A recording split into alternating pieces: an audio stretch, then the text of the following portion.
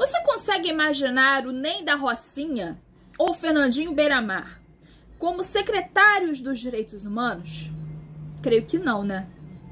Mas a ONU age desta forma ao nomear o Irã para presidir o Fórum Social do Conselho dos Direitos Humanos.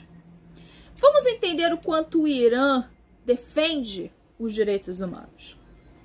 Armita Garawand, uma jovem de 17 anos, foi morta apenas por não usar o hijab, o véu islâmico. No enterro desta moça, a advogada Nasrin Sotoudeh foi presa pelo mesmo motivo.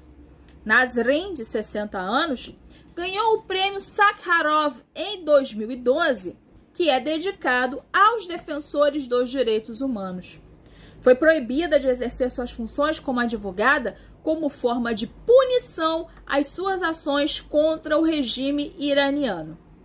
Outra mulher, Marsha Almini, foi assassinada em 2022 pela Patrulha de Orientação da República Islâmica do Irã, que é um esquadrão especial da polícia encarregado da implementação pública dos regulamentos islâmicos do hijab, porque o hijab de marcha não atendia aos padrões obrigatórios do governo.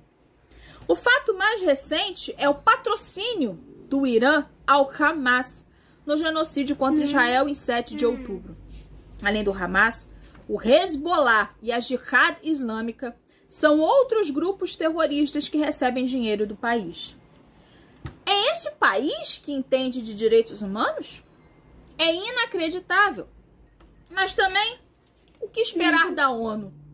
Uma organização criada apenas com o objetivo de disseminar agendas que pervertem valores e que não resolve problemas que há décadas acontecem debaixo dos nossos narizes.